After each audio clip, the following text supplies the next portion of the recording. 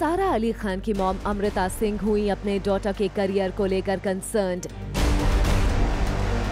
सारा की debut film Kedarnath में हो रही डिले की वजह से सारा के हाथों से जा रही हैं फिल्म्स और अब अमृता सिंह चाहती हैं कि सारा करे जल्द से जल्द किसी बड़े स्टार के साथ film sign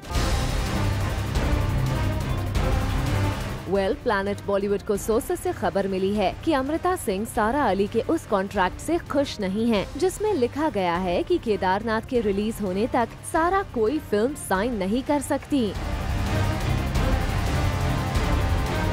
और साथ ही ये भी मेंशन्ड है कि केदारनाथ ही होगी सारा की डेब्यू फ़िल्म